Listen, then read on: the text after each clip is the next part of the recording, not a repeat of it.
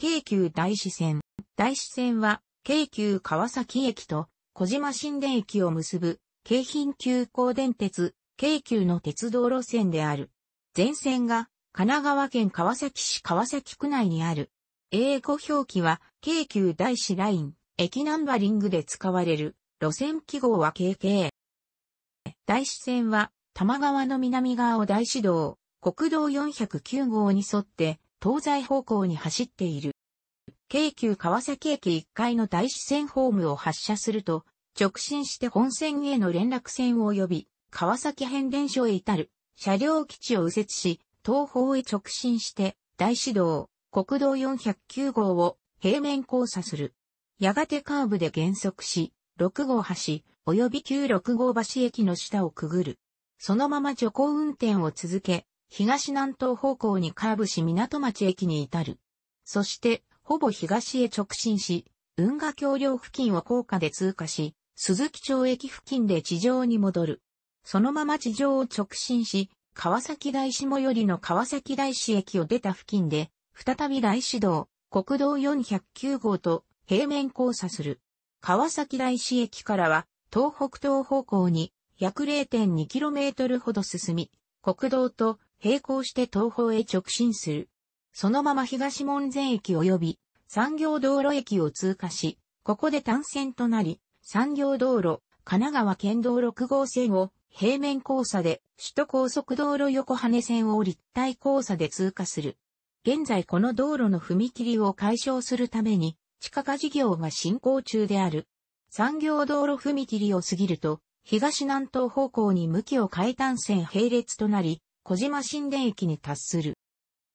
大師線沿線を含む大師道、国道409号よりも北側の地域は、玉川リバーサイド地区、また大師河原の殿町地区として、大師線地下化事業や首都高速道路の整備とともに、都市再整備が進められており、現在も工場跡地を利用した大規模なマンション建設や複合商業施設の建設が進められている。川崎大師で有名な大師線ではあるが、浮島の工業地帯の通勤路線でもあるため、全線にわたり利用客が多い。これは産業道路駅で浮島地区のバスが多数発着しているため、普通列車のみ運行されている。全列車が京急川崎駅、小島新田駅間を往復する運用で、他路線との直通や途中駅での折り返しはない。ワンマム運転は行われていない。毎年大晦日から元日にかけては、川崎大師参拝客のため終夜運転が行われる。また、かつては、本線からの直通電車が年末年始に運転されることがあった。1956年から1972年まで、1965年と1971年は、工事の影響で運転せずは、品川からの直通急行が運転され、2000年代初頭の正月ダイヤでは本線からの直通列車が運転されたことがある。基本的に平日ラッシュ時5分間隔、日中は10分間隔の運転となっているが、1月の土日、港町駅近隣にある川崎競馬場でのレース開催時や、10年に一度の5月に行われる川崎大師大外町などには、増、日中6分間隔される。各形式ともホーム有効庁の関係上4両編成のみが運用される。1500系以外の形式は年末年始などに行われる増発時や検査時における車両不足の際に稀に運用されることがある。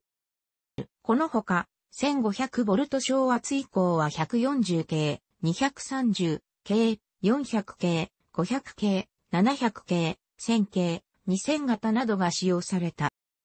大師線は京浜急行電鉄のルーツである。当初は川崎大師への産経路線として建設され、1899年に開業した。営業運転を行う鉄道としては日本で初めて標準機を採用し、また電車による運行は関東で初めてのものである。人力車組合の反対で遅れていた現在の京急川崎駅への乗り入れも3年後の1902年に果たした。なお、大師駅から先、総持寺駅、京急本線の京急鶴見駅花月園、前駅間にあった駅まで当初京浜電気鉄道、当時自ら建設する予定であったが、別会社で建設されることになり、子会社の海岸電気軌道の手で1926年10月16日に大使掃除時間が全通した。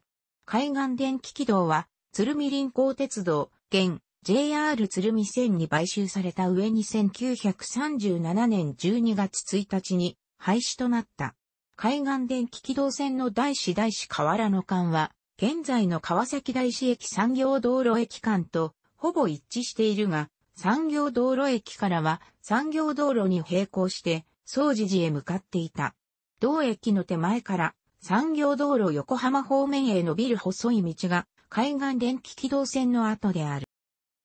同線の開通以降川崎大師へは毎年各地からの参詣客で大いに賑わうこととなり、それまで初詣といえば地元の神社仏閣へ参拝するのが習慣であったものを、各地の有名者寺まで電車に乗って、初詣をするという習慣に変えた歴史的にも意義のある路線である。開業後、会社の予想を大幅に超える収益を上げたことから、京浜間に路線網を拡大する基礎を築くともに、各地の電気軌道計画に影響を与えることとなった。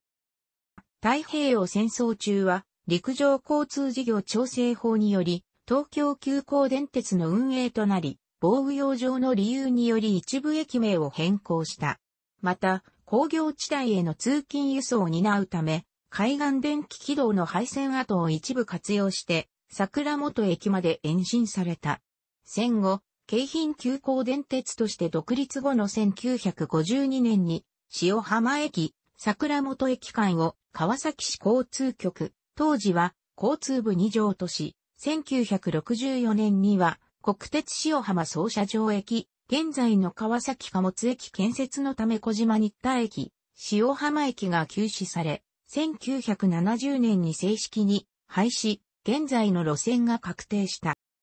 1949年より鈴木町駅、桜本駅間で下り線が 1067mm 機関との参戦機場となり、沿線の味の素川崎工場と日本夜勤工業から国鉄の貨物船への貨物輸送が行われた。さらに参戦機場の内側の 1067m 機関は川崎市電日本交換前電停までつながっていた。その後、前述の線路変更の結果、1964年以降は、塩浜総車場駅から川崎大師駅先にある味の素川崎工場までに短縮され、大師線の旅客列車終車後に味の素へ出入りする貨物列車が運転されていた運行は神奈川臨海鉄道が請け負っていた。1960年代の最盛期には1日に便運行されたが、トラック輸送及びコンテナへの移行により、貨物列車の運行が減り、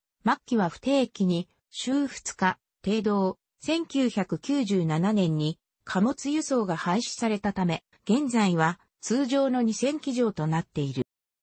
全駅が神奈川県川崎市川崎区に所在する。ホーム有効庁は4両編成分となっている。廃止、上徳間の駅は、廃止、上徳間の節を参照。小島新田駅、塩浜駅入江崎駅、桜本駅。2016年度の1日平均乗降人員は、下記の通り。踏切解消等を目的とした、京浜急行大支線連続立体交差事業として、小島新田駅を除く、ほぼ全線で地下化工事が計画されていた。第一期区間とされた小島新田川崎大使間のうち、産業道路駅の東側で大使線と直行する産業道路、神奈川県道6号東京大使横浜線の踏切を優先的に解消させるため、小島新田東門前間は2019年3月3日に、残りの東門前から川崎大使館は2023年度にそれぞれ地下化される予定。第2期区間とされた川崎大師京急川崎間は、路線を大きく南側に移設して地下化し、さらに京急川崎港町間に、新駅、宮前駅、仮称を設置する計画であったが、すぐに工事着手できない状況であることから、2016年3月29日付で休止となった。その後、2017年10月27日に行われた平成29年度第1回川崎市公共事業評価審査委員会にて審議した結果、費用対効果などを勘案し、中止が決定された。大支線を羽田空港まで路線を延長して空港アクセス路線とする構想もあったが中止となった。その後に持ち上がった神奈川口構想、首都圏第三空港構想では、川崎市川崎区の殿町付近、小島新田駅西、現在のキングスカイフロントに何らかの空港施設建設を計画しており、延伸構想が再燃する可能性もある。新横浜駅羽田空港間を結ぶ羽田アクセス線の計画がかつてあったが、大支線が近くを走っていることが問題となり、京急が難色を示していたことから計画が中止された。